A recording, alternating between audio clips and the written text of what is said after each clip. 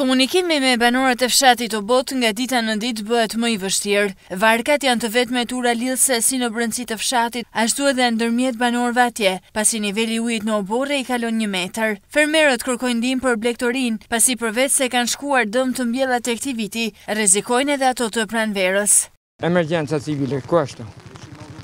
Dihet, emergjenca civile duhet ta përkrahin popullsinë. Popullsia, po e shohim këtu, s'ka nevojë. Baza blegtorale i herë ka shku në zero. Banorët ka nevojë për bazë blegtorale. Këtu bëhet fjalë pra për vitin tjetër. Vitin tjetër, me ça don me u dukë.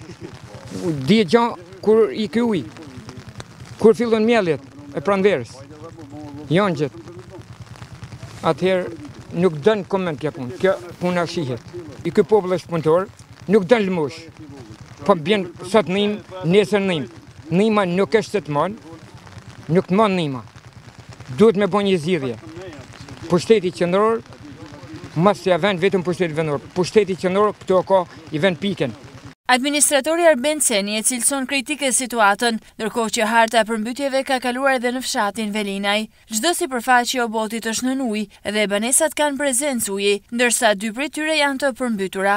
Kemi një sipërfaqe qind per qind e përmbytur të tokës bujqësore në njësinë tonë, pra një mijë e dyqind e pesëdhjetë hektarë, por uji ka vazhduar të futet edhe në tokat e fshatit Velinaj, sipër rrugës në, në këtë vend ku jemi, ka vazhduar me disa hektarë.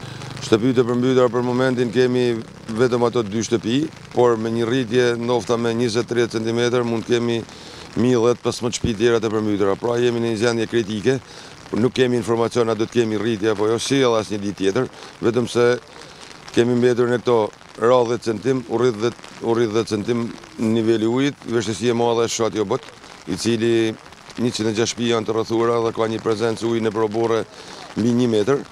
Nuk kalohet me makinat e ushtrisë, pra e vështirësu shumë komunikimi me fshatin Obot. Niveli i ujit mbi rrugën e Obotit shkon një metër e njëzet centimetër, ndërkohë që të përmbytura janë rreth një mijë e treqind hektarë.